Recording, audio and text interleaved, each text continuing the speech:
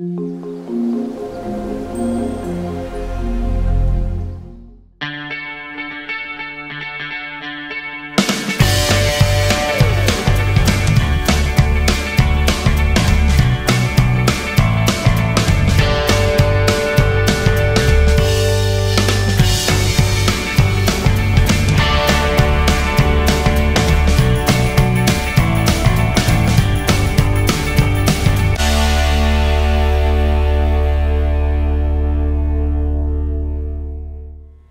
Good morning, Bellevue. Today is Tuesday, December 8th, 2020, the 80th day of our school year and a great day to be a Bulldog Scholar.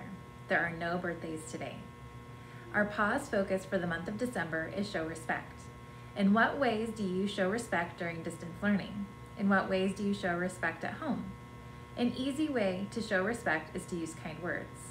You can also use kind actions in all settings. Today is Tip for Tuesday. Selene from Mrs. Rodriguez's fifth grade class sent this tip.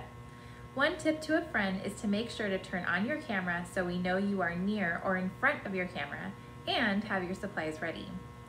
Aiden from Mr. Ramos's class shared that we should show our friends how to get onto the Zoom meeting and their assignment. Julia from Mrs. Rodriguez's fifth grade class wrote a tip for a younger person who may be frustrated. She said, a tip from me to a younger child would be to take a deep breath and count. Thank you for the wonderful tips, scholars.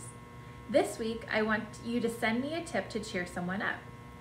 If you saw someone sad, what would you su suggest for them to do, or what would you do to help them feel better? For 30 seconds, I want everyone to think of a tip to help someone feel better. Then, it is your teacher's choice for how to share.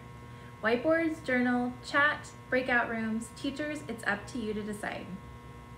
Now, have a terrific Tuesday and go Bulldogs!